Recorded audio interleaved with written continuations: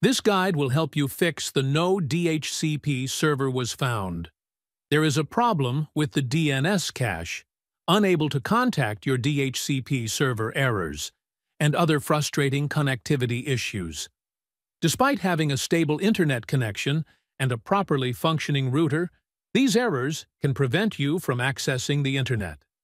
These connectivity problems can occur on Windows 8 and Windows 10, but they are relatively more frequent on Windows 11. It is commonly believed that these errors only happen with Wi-Fi, but they can also arise with Ethernet connections. To be honest, there is no fixed or permanent solution to these issues except one. However, the following methods may help resolve them. As you might know, every Internet router has a default IP address, which is often the same across multiple routers. This similarity can sometimes cause connectivity conflicts. Without diving into technical details, imagine you have multiple routers at home, all using the same IP address. This can make it difficult for Windows to determine which router you intend to use. To resolve this conflict, restart your router. In most cases, this will fix connectivity issues. If the problem persists, you may need to change your router's IP address. However, we strongly advise against doing this without expert supervision. Additionally, be sure to note down your router's login credentials before making any changes. If changing the router's IP address is not an option, there are alternative ways to fix connectivity errors. The Diagnose Network Problems utility in Windows can resolve many connectivity errors. This is one of the best options if you don't want to restart your device or router. This tool performs two functions. One, it scans for network issues and, if possible, fixes them automatically.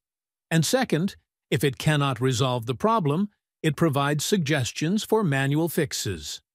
A particularly effective solution is to restart the Wi-Fi network adapter using this utility.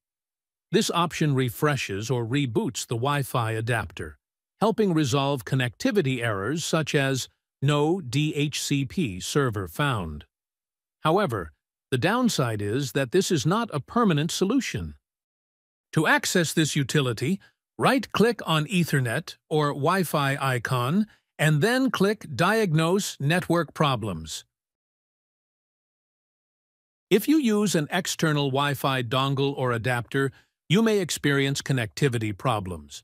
We recommend using an internal or built-in Wi-Fi adapter whenever possible.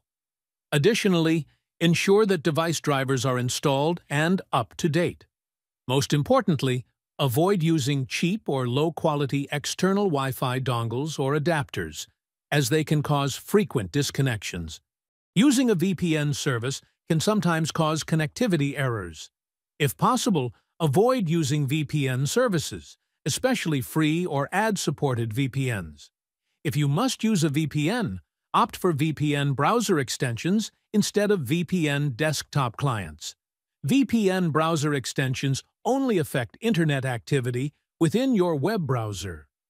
VPN desktop clients on the other hand, control your entire device's network connection and may create multiple connectivity issues.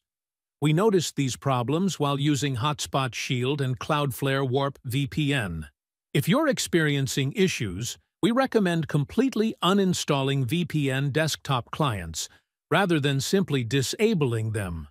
After uninstalling the VPN, flush the DNS cache and restart your device open the Start menu and type CMD. Select Command Prompt from the search results. In the Command Prompt window, type ipconfig slash flushdns, press Enter, and then reboot your device. Hopefully, this will resolve the error. Outdated or faulty Wi-Fi or Ethernet drivers can also be responsible for connectivity issues. We do not recommend using Device Manager to update drivers, as it often fails to find the latest versions. Instead, manually download and install the necessary drivers from your device manufacturer's official website. To find the correct drivers, Search for your device brand and model in Google or another search engine, e.g. Dell Latitude 3340 Wi-Fi or Ethernet drivers. Download the latest Wi-Fi or Ethernet drivers from the official website and install them. We hope one of these solutions has helped you restore your internet connection.